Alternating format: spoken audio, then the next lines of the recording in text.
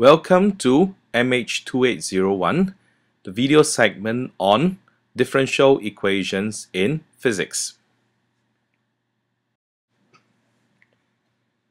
In physics, we frequently find ourselves dealing with point particles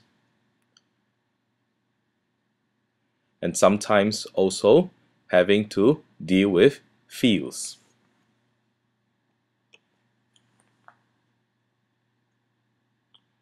To describe point particles, we need to use the language of ordinary differential equations.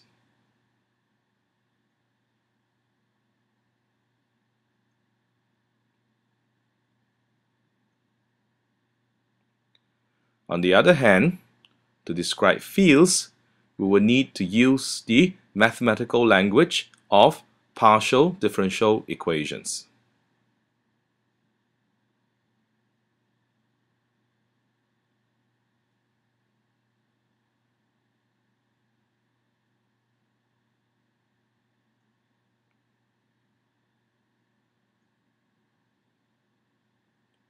An example of an ordinary differential equation that we would encounter when dealing with point particles would be Newton's second law.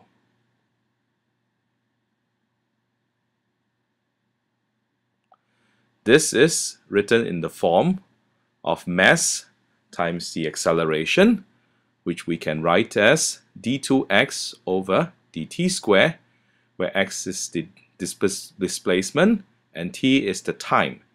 And this mass time acceleration must be equals to the force acting on the particle, which is given in terms of the position as well as the time.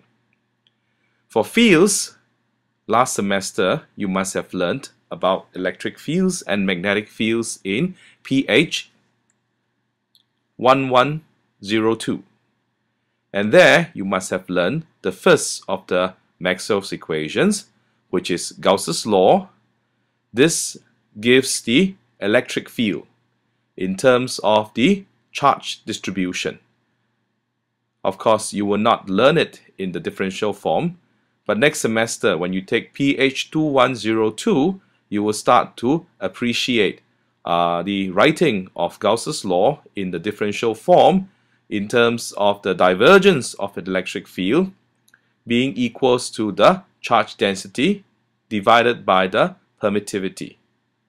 Another example of a partial differential equation that you would encounter this particular semester is Schrodinger's equation.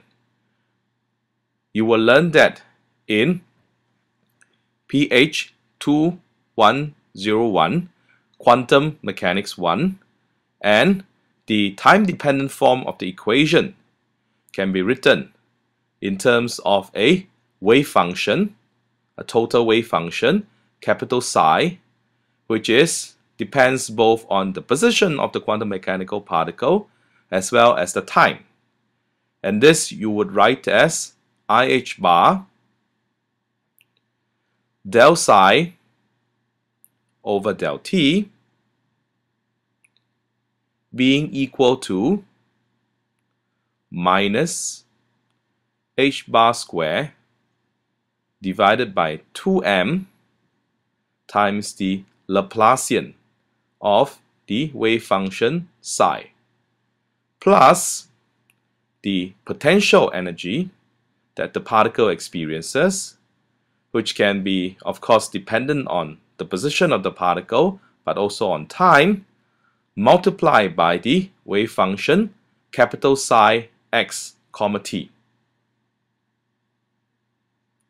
In physics, you will also encounter other partial differential equations such as Laplace's equation, such as the diffusion equation, and next year when you take fluid mechanics, you will also learn about a nonlinear partial differential equation called the Navier-Stokes equation.